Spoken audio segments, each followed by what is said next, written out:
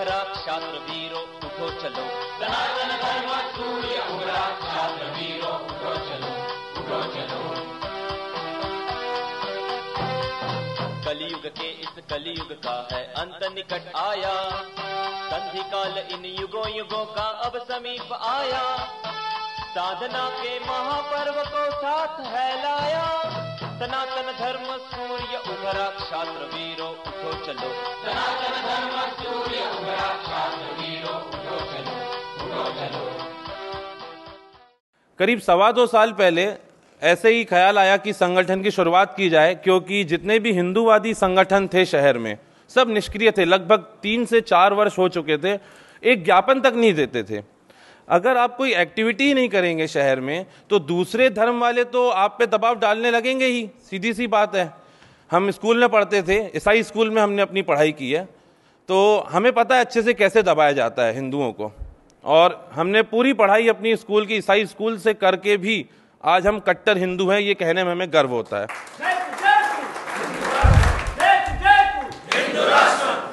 जब हम स्कूल से बाहर निकलते थे, एक चौराहा था, तैयब अली चौराहा नाम था। स्कूल में बच्चों की लड़ाइयाँ अधिकतर होती रहती हैं, बोलते हैं, हम बाहर देख लेंगे तुमको। तो वो साथ में गुंडे लाते थे तो वो मुसलमान होते थे, पूरा क्षेत्र मुसलमानों का था। आज भी वहाँ पे इर्द गिर्द चार पाँच मस्जिदें हैं, मुस्लिम बहुल्य क्षेत्र है। तो हिंदू डरता था कि उस चौराहे से नहीं जाऊँ, मैं यहाँ से जाऊँ, पीछे से जाऊँ, भाग के जाऊँ, वो भी हमने झेला है वहाँ पे। तो जबलपुर में यह स्थिति थी कि कोई भी हिंदूवादी संगठन एक ज्ञापन देने तक नहीं आते थे महाआरती तक नहीं करते थे, किसी को तकलीफ़ होती थी तो सामने नहीं आते थे। तो हम 24-25 वर्ष के युवाओं ने 10-12 मित्रों के गुट ने, एक संगठन बनाया, हिंदू सेवा परिषद नामक। और शहर में, पिछले दो वर्ष में, हमने क्या क्या किया है? जैसे पब्स खुल गए हैं, डांस बार खुल गए हैं, वहाँ पे लड़कियाँ छोटे वस्त्रों में नशा करती हैं, वहाँ पे मुसलमान लड़के पार्टी में उपस्थित होकर हिंदू लड़कियों के साथ संबंध बनाते हैं। लव जिहाद जो अपन कहते हैं, वो जबलपुर में बहुत तीव्रता से फैला हुआ है। तो वो पार्टियों को लगभग हमने अपनी बहुल्य पावर से वहाँ पे सौ, डेढ़ सौ लोग एक साथ घुस के, बंद करा के जेल भी गए हम लोग। और उसके बाद आज की डेट में पार्टियाँ बिल्कुल बंद हो गई हैं लगभग, जो भी होती हैं वो छुपे रुस्तम तरीके से करते हैं। उनको हमारा भय है, डर है। और ये है कि कोई भी पार्टी होती है तो हमसे अनुमति भी ली जाती है। हम यही कहते हैं, आपको जो करना है करिए, हिंदू बहनें नहीं आएँगी उसमें। हमारा प्रथम जो हमें उद्देश्य हासिल करना था, वो हमने कर लिया है। उसके अलावा धर्म लक्षित अहिंसक अधिनियम जो आ रहा था लोकसभा में, उसके लिए जब हम अपने सांसद महोदय के पास ज्ञापन लेकर गए कि भाई आप कल जा रहे हैं दिल्ली लोकसभा में तो आप ये वहाँ पे दीजिए आवाज़, उठाइए जबलपुर से हमारी हिंदू सेवा परिषद की, हिंदू संगठन की, कि ये अधिनियम नहीं आना चाहिए। तो दो घंटे इंतज़ार करने के बावजूद भी वो नेता नहीं आए। तो चूँकि अपने संबंध भी थे उन नेता से, सीधी सी बात है, भाजपा नेताओं से मेलजोल रहता है कार्य करने के लिए, पर उनका सहयोग आज की डेट में बिल्कुल नहीं मिलता है। तो अपन वहाँ से बैरंग लौटे थे, उनके खिलाफ मतलब बोलते हुए वहाँ से आए थे।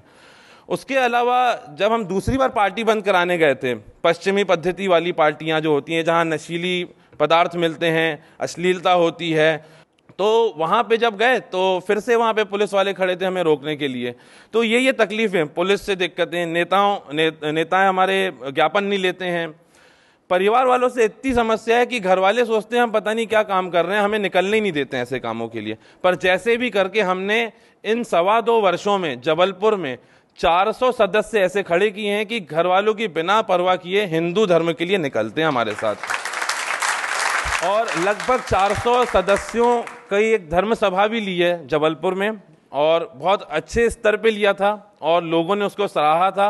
और हमने ये सोचा है कि आगामी 31 मार्च में लगभग 4000 हिंदुओं के साथ हम वहाँ गदा रैली निकालेंगे जबलपुर में, जिसमें हम तीन चार हिंदुस्तान से बड़े नेता, हिंदू नेता बुलाएँगे, जिससे उसके अगले वर्ष में चार लाख, पाँच लाख हिंदू एक साथ एकत्रित हो जाएँ, जैसे कि हमें हिंदू राष्ट्र बनाना है। और जितने भी यहाँ उपस्थित है मैं सबसे एक चीज़ बोलूँगा कि आप सबके बेटे होंगे बेटियाँ होंगी उनको अब इसमें उतारिए क्योंकि आने वाले वक्त में युवा ही काम करेंगे। स्वाभाविक है जो हमारी उम्र है 25, 28, 30 वर्ष 40 वर्ष ये युवा पीढ़ी ही काम कर पाएगी युद्ध लड़ पाएगी क्रांति ला पाएगी क्योंकि हम पूरी तरह से स्वस्थ हैं इसीलिए। तो कृपा करके सब अपने घर से युवाओं को बाहर निकालें, हिंदूवादी संगठनों में भेजें। अपन देश के हर कोने कोने से यहाँ आए हैं और हर शहर में कोई ना कोई मंदिर है, संस्था है, संगठन है, वहाँ भेजें। क्योंकि जब हम खंड जोड़ने जाते हैं, अपने शहर में सदस्य जोड़ने जाते हैं। बहुत तकलीफ़ होती है। कोई धर्म निष्पेक्ष है, किसी को व्यापार करना है, किसी को नौकरी करनी है, किसी को इन सब चीज़ों में कोई मतलब ही नहीं है। बहुत तकलीफ़ होती है, पर अब ऐसा लगता है कि 400 सदस्य हो गए हैं तो अब बढ़ने में हमें तकलीफ़ नहीं जाएगी, क्योंकि 400 लोगों में 40 प्रचारक तो हमारे हैं ऐसे कि जो विस्तार कर लेंगे हिंदू सेवा परिषद का।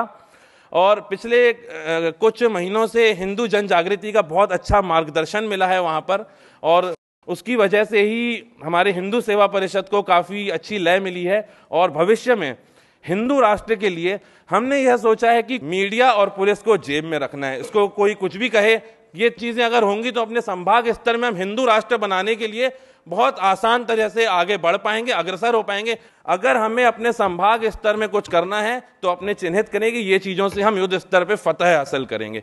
जय श्री राम। जयतु जयतु हिंदू राष्ट्र जयतु जयतु हिंदू राष्ट्र जयतु जयतु हिंदू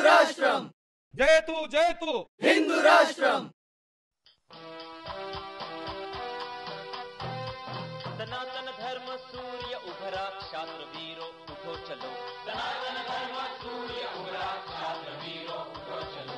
उठो चलो कलयुग के इस कलयुग का है अंत निकट आया। संधि काल इन युगों युगों का अब समीप आया। साधना के महापर्व को साथ है लाया सनातन धर्म सूर्य उभरा, क्षात्र वीरो, उठो चलो। सनातन